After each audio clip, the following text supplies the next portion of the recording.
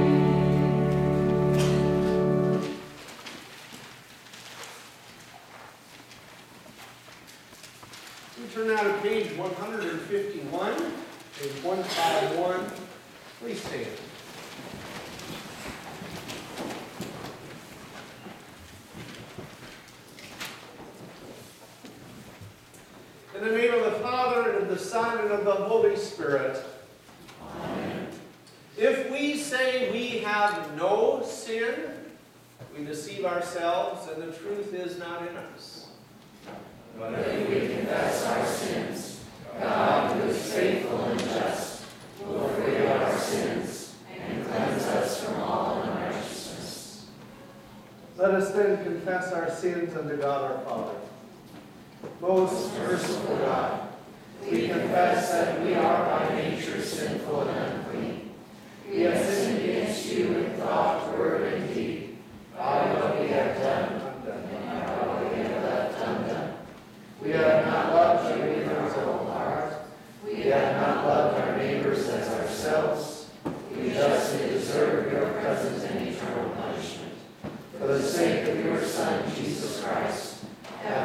Mercy on us. Forgive us, renew us, and lead us, so that we may delight in your will and walk in your ways, to the glory of your holy name. Almighty God in his mercy has given his Son to die for you, and for his sake forgives you all of your sins. As a called and ordained servant of Christ, and by his authority, I therefore forgive you all of your sins. In the name of the Father, and of the Son, and of the Holy Spirit. Amen.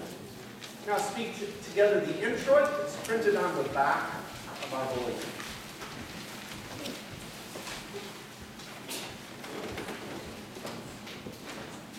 Come, Holy Spirit, fill the hearts of the faithful, and kindle in them the fire of your love. Alleluia. O Lord, how manifold are your works! In wisdom have you made them whole. The earth is full of your creatures. These all look to you to give them their food in due season. When you give it to them, they gather it up. When you open your hands, they are filled with good things. When you send forth your Spirit, they are created, and you renew the face of the ground.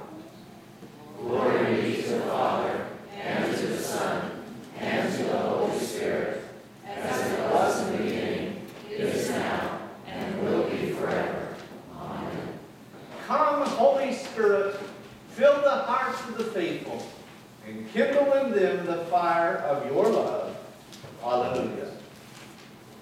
We continue on page 152 as we sing, Lord, have mercy. Follow that by singing, This is the Feast. In peace, let us pray to the Lord.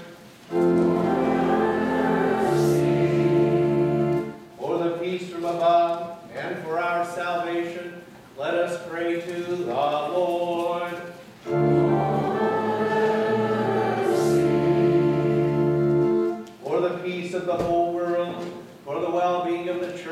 God, and for the unity of all, let us pray to the Lord.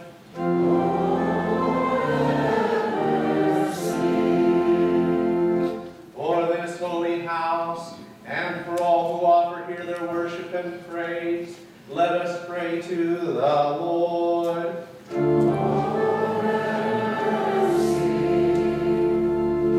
Help, save, comfort, and defend us, gracious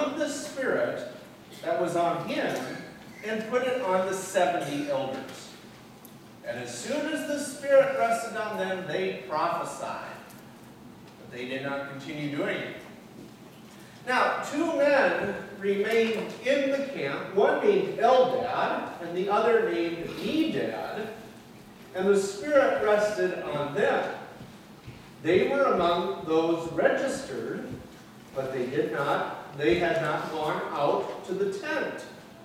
So they prophesied in the camp. And a young man ran and told Moses, Eldad and Medad are prophesying in the camp. And Joshua the son of Nun, the assistant of Moses from his youth, said, My Lord Moses, stop them. But Moses said to him, Are you jealous for my sake? Would that all the Lord's people were prophets, that the Lord would put his spirit on them. Moses and the elders of Israel returned to the camp. This is the word of the Lord. Second reading is from the book of Acts, chapter 2. When the day of Pentecost arrived, they were all gathered together in one place. And suddenly there came from heaven a sound like a mighty rushing wind, and it filled the entire house where they were sitting. And divided tongues, as of fire, appeared to them and rested on each one of them. And they were all filled with the Holy Spirit and began to speak in other tongues as the spirits gave them utterance.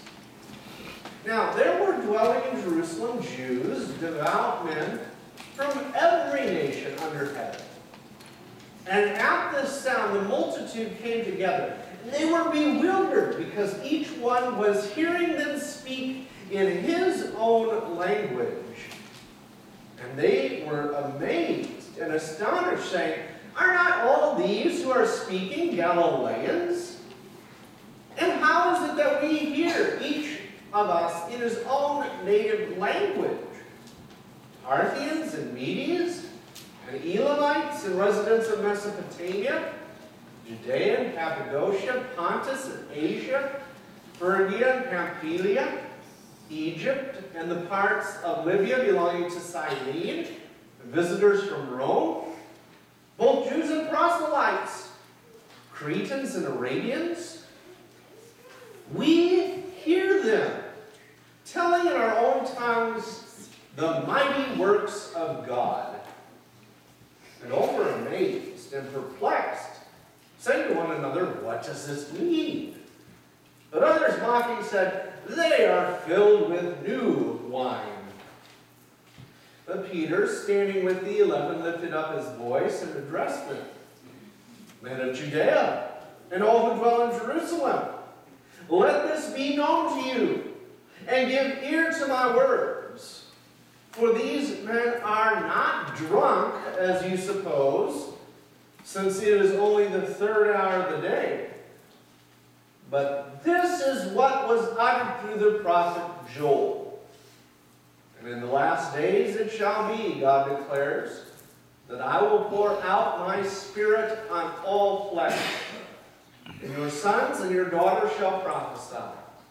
And your young men shall see visions, and your old men shall dream dreams. Even on my male servants and female servants in those days I will pour out my spirit, and they shall prophesy. And I will show wonders in the heavens above, and signs on the earth below, blood and fire and vapor and smoke. The sun shall be turned to darkness, and the moon to blood, before the day of the Lord comes, the great and magnificent day. And it shall come to pass that everyone who calls on the name of the Lord shall be saved. This is the word of the Lord. Thanks be to God. We turn in our hymnal to page 156, page 156. Please stand as we sing our Hallelujah verse. Hallelujah,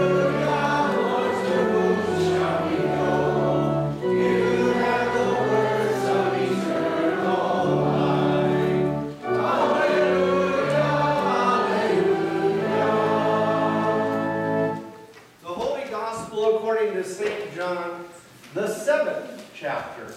Glory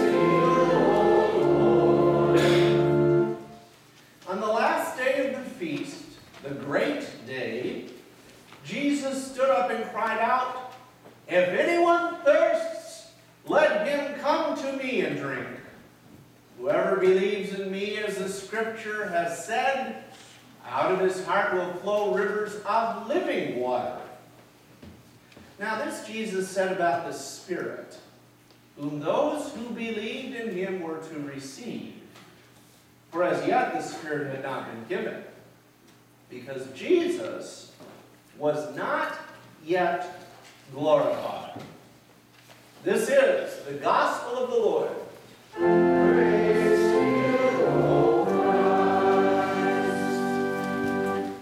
confess our Christian faith as we speak the words of the Nicene Creed. The Nicene Creed is on page 158. We confess our faith. I believe in one God, Then you see that we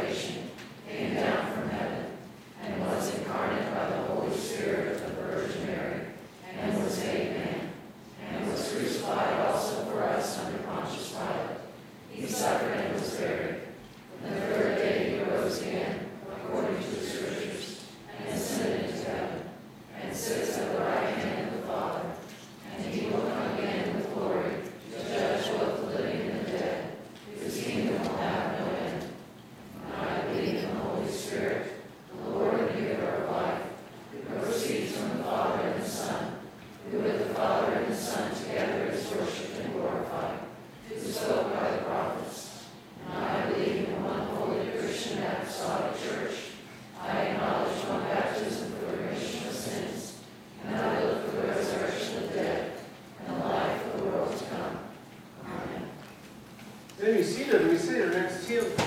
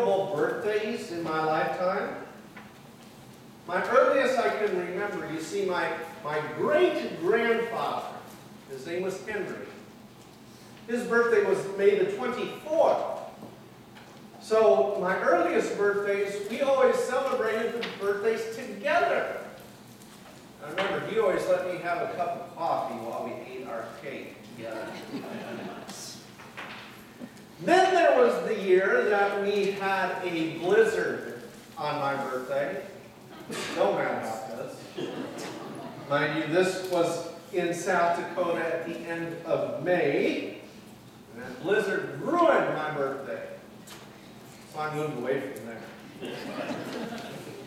And then it was my 16th birthday. My friends threw a surprise birthday party for me.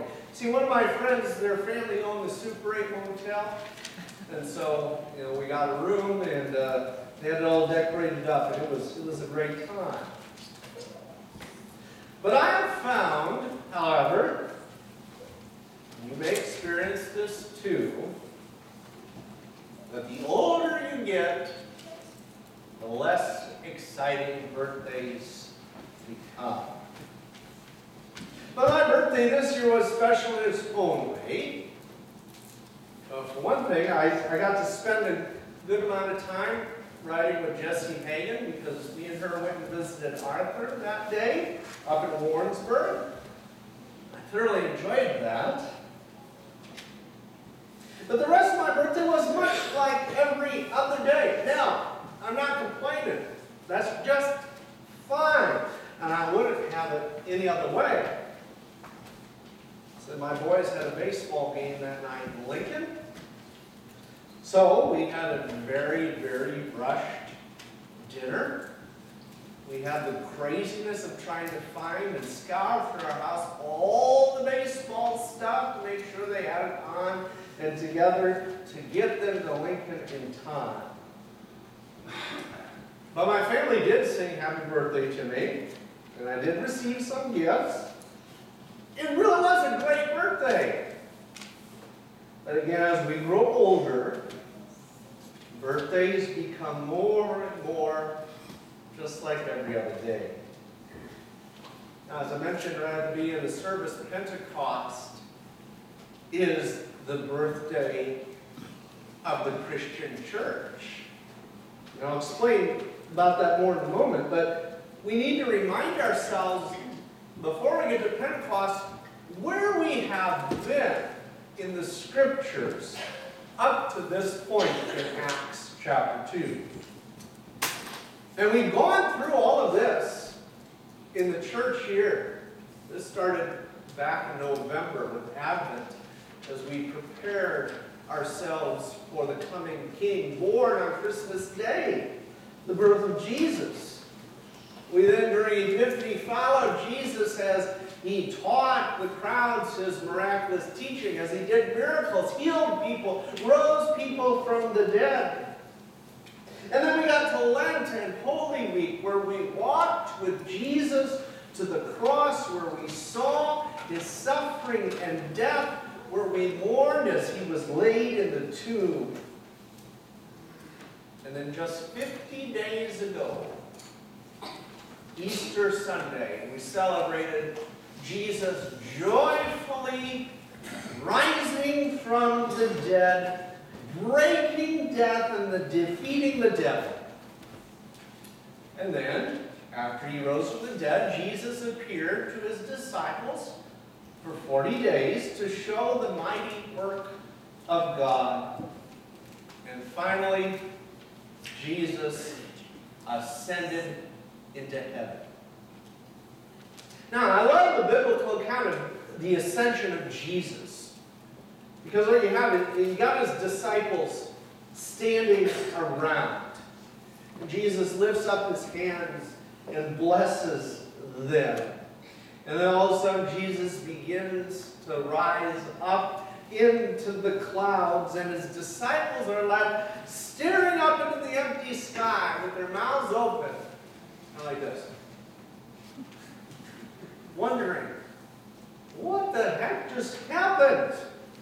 Not really understanding.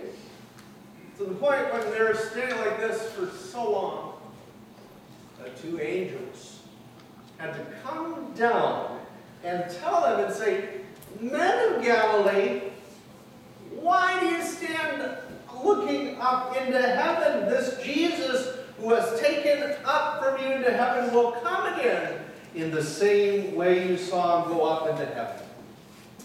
It's like the angels came down and said, Quit standing around and do something. But what were they to do? The answer is Pentecost. So before Jesus ascended into heaven, he said this to his disciples. Jesus said this, But you will receive power when the Holy Spirit has come upon you, and you will be my witnesses in Jerusalem and Judea and Samaria and to the ends of the earth. So Jesus did, in fact, leave the disciples with something to hold on to. He didn't leave them wondering. They shouldn't have been standing up in heaven like this because they knew what Jesus had them to do. He gave them a charge, and then he gave them help to do it. Proclaim the mighty works of God throughout the world. And the day of Pentecost is the fulfillment of what Jesus says to the disciples right before he ascended into heaven.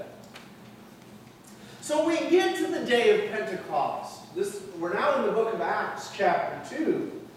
And it says this When the day of Pentecost arrived, the disciples were all together in one place, and suddenly there came from heaven a sound like a mighty rushing wind. And it filled the entire house where they were sitting. And divided tongues as of fire appeared to them and rested on each of them. And they were filled with the Holy Spirit and began to speak in other tongues as the Spirit gave them utterance. This is the birth of the Christian church on earth. So the church has its job from Jesus, that is, being witnesses to the whole world of what God has done through Jesus. And on Pentecost, then the Lord gives the church the tools it needs to get that job done. The church is given the Holy Spirit. That is God's very own presence within the church, guiding the church, calling the church to faithfulness, helping every Christian to believe and to be witnesses in the world. Now, I've been your pastor now for six years. I think every Pentecost Sunday I've quoted Luther's small catechism, the explanation of the third article of the Creed, every Pentecost Sunday as we celebrate the, the Holy Spirit coming to the church because it is so beautiful and it so explains the, the wonderful gift of the Holy Spirit. Where Luther says, this is what you get on Pentecost, this Holy Spirit. Who said, and Luther says, when we confess the third article of the Creed, we, we confess I believe that I cannot by my own reason or strength believe in Jesus Christ my Lord or come to him. But, favorite word, not just something to sit on, but the Holy Spirit has called me by the gospel, enlightened me with his gifts, sanctified, and keeps me in the one true faith. And in the same way, he calls, gathers, enlightens, and sanctifies the whole Christian church on earth and keeps it with Jesus Christ in the one true faith. And in this Christian church, he daily and richly forgives all my sins and the sins of all believers. And on the last day, he will raise me and all the dead and give eternal life to me and all believers in Christ.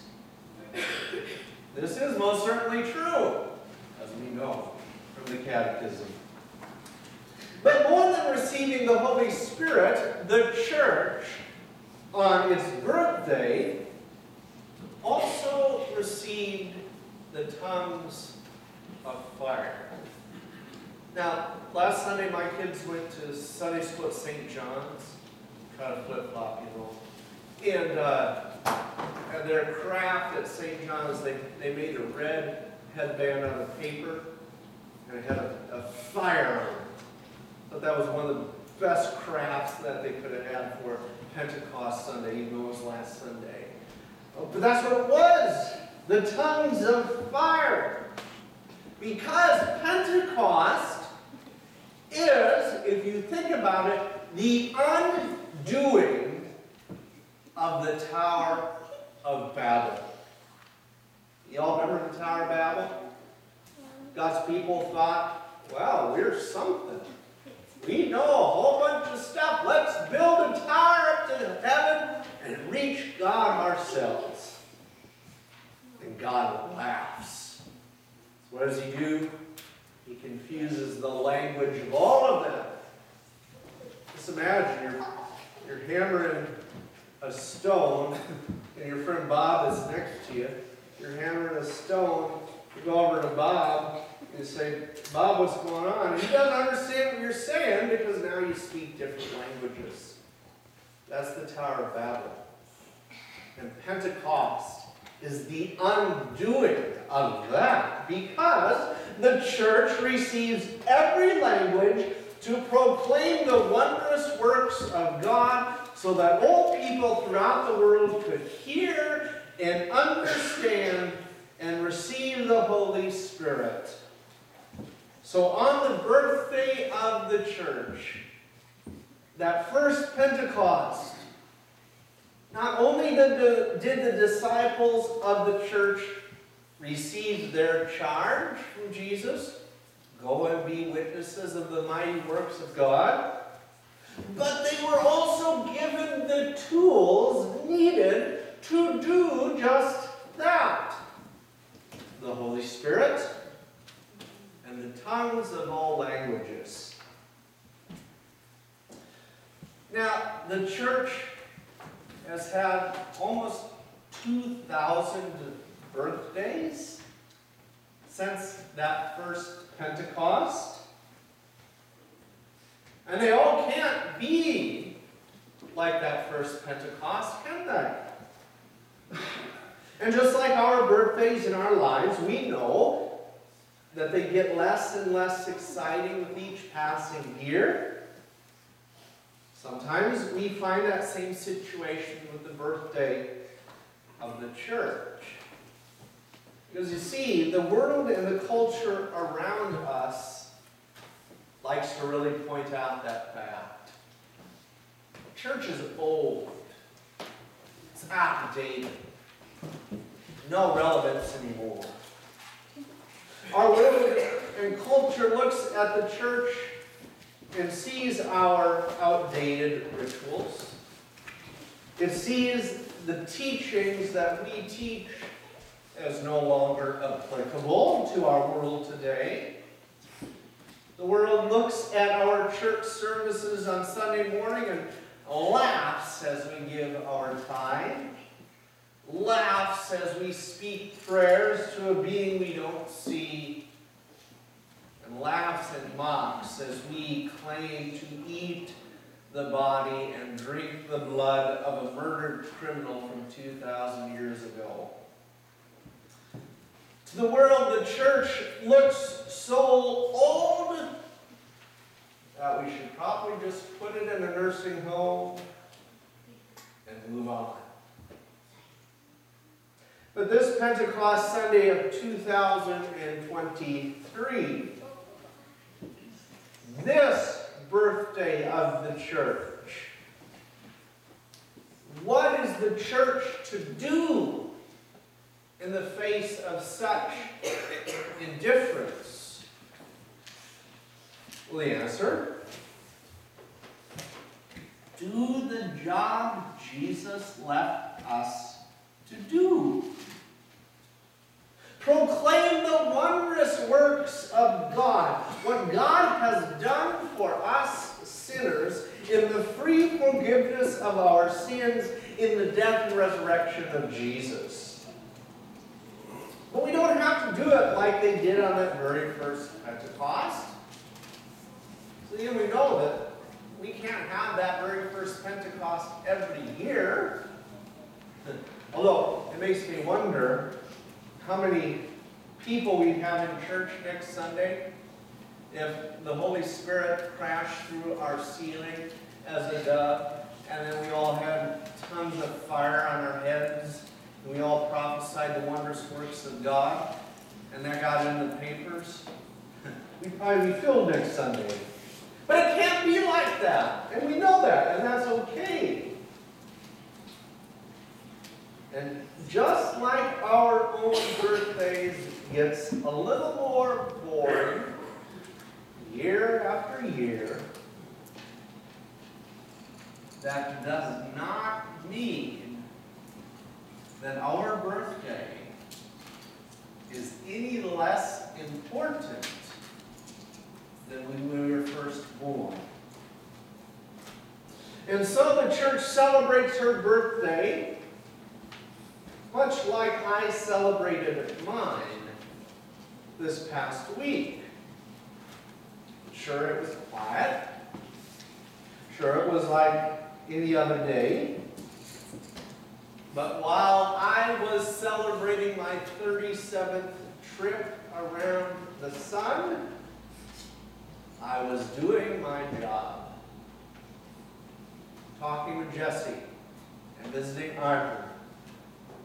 I was being a husband and father, making dinner, doing my best to get the kids ready for the ball game, even if they were wearing one blue and one white sock. Going to their game, watching their game, because those things are important.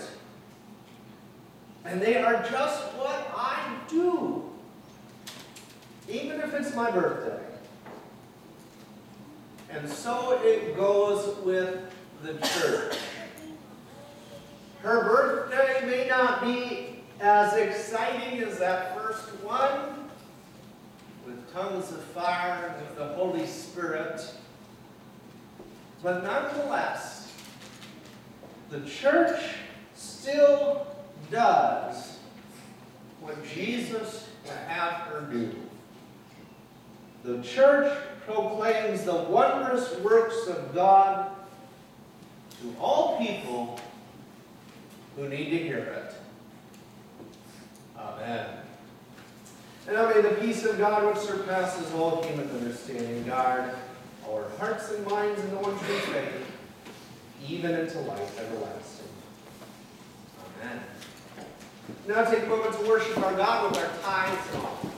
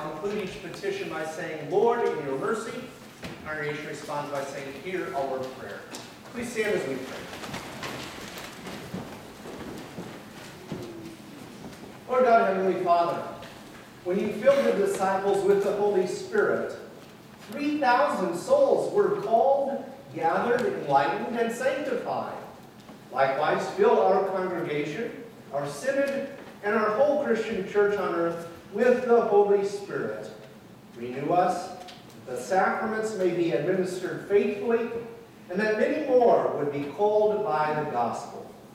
Enlightened with your gifts, sanctified and kept in the truth faith. Lord, in your mercy. Almighty God, you delivered your word through Moses and the prophets, and fulfilled your word in Christ. He was planted into death for our sins raised for our justification. And in him shall all the nations of the earth be united.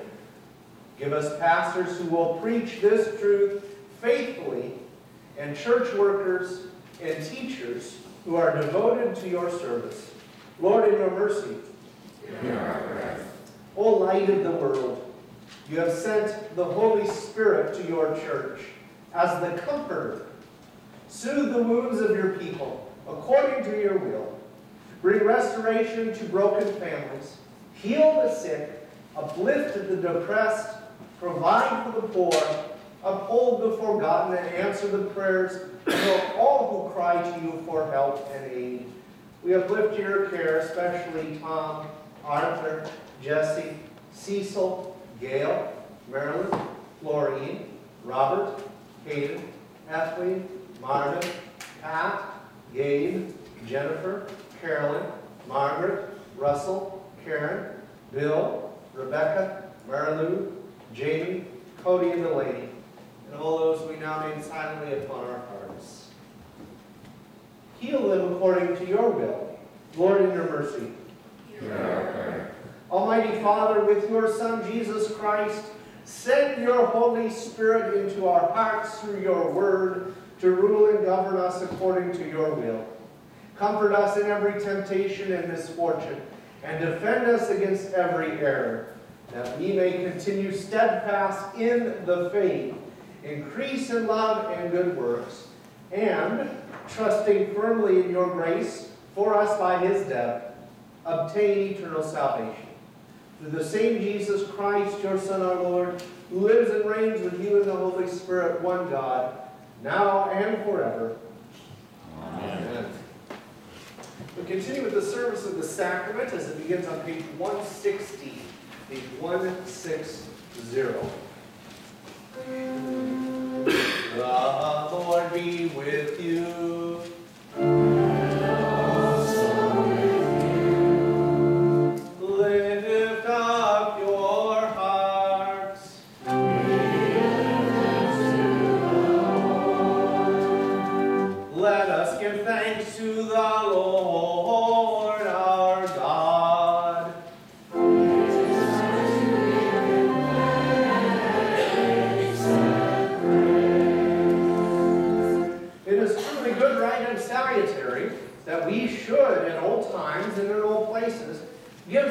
To you, Holy Lord, Almighty Father, everlasting God, through Jesus Christ our Lord, who ascended above the heavens and, sitting at your right hand, poured out on this day the promised Holy Spirit on his chosen disciples. For, for all this the whole earth rejoices with exceeding joy. Therefore, with angels and archangels, and with all the company of heaven, we laud and magnify your glorious name, evermore praising you and saying,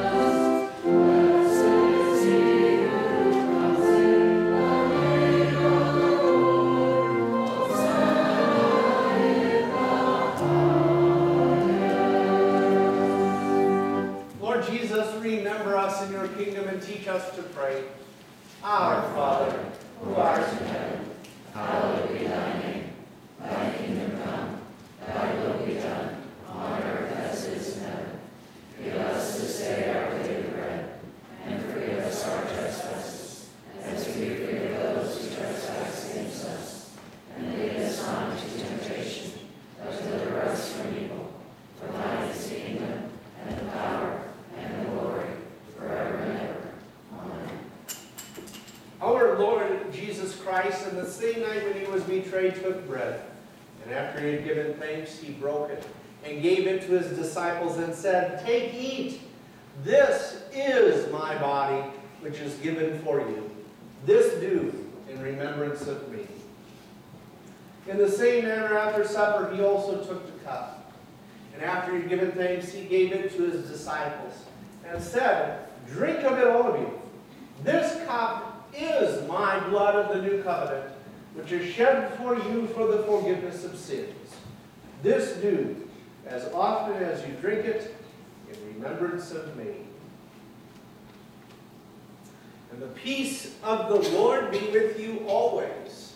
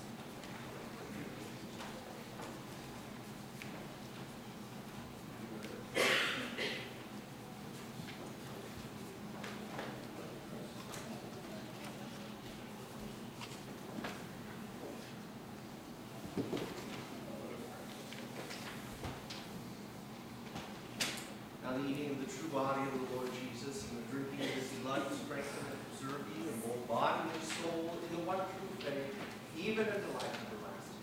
Depart in his peace, your sins are forgiven.